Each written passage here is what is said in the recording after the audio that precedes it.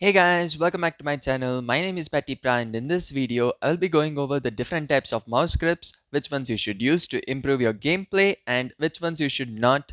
And also at the end of this video, I will be showcasing my personal mouse grip which I use and why I think it's the best grip. So let's get into the video.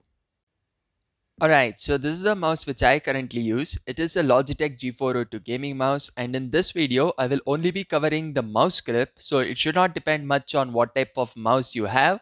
For that I might make a separate video on that. The mouse I'm using currently is going to be a budget friendly mouse and for me personally I have bigger hands hence is the best mouse for me. So it re it's really what mouse suits best for you will be the one we'll be using. Anyways, coming to the video on mouse grips, there are actually three different types of mouse grips which are the most popular ones currently. There are also various others which I'm not going to go over simply because I think you'll be needing only these three mouse grips to identify which type of grip you should use and all the other ones are basic versions of these three basic mouse grips. So first we have the palm grip. In the palm grip, you basically will be having your entire palm resting on the mouse in this manner. So all your fingers here are going to be stretched out and are going to be laying on the mouse comfortably. In my opinion, this is the most comfortable grip out there coming to the pros and cons of this grip. So I would say that this grip is very good for aiming since if you are using this grip, you'll be aiming with your arm and not with your wrist and aiming with your arm is much more easier and has more control. Hence for example your tracking aim becomes way more better. But the problem with this grip is that you won't be able to do large mouse movements easily. And if you want to move freely and if you want to do flick shots and stuff this thing is not going to be that good. But for tracking aim and stuff it is going to be the best mouse grip for you. So try it out and let me know Next we have the fingertip grip. In this grip you will be basically holding your mouse with only your fingers and your palm will just be in the air in a non-resting position like this. Benefits of this grip style is that you will be able to flick or move your mouse around a lot which makes more easy makes it more easier if you are say playing a game where you need a lot of mouse movement. Is the grip you should use. However, the problem is in shooter games. Since you are using your fingers and not your arms to aim, your aim becomes way worse in my opinion. There is no support nor any lock of your palm to support consistent tracking aim.